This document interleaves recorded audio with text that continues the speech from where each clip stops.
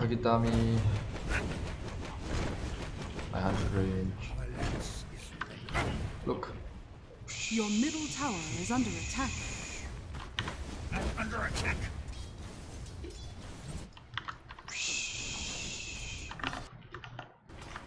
As needed, Decoy. Yeah, I I actually hope they fix it.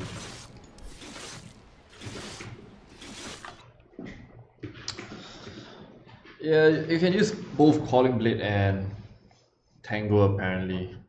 If you want to get your free karma, you can do it on Reddit now. Like, oh, save the clip.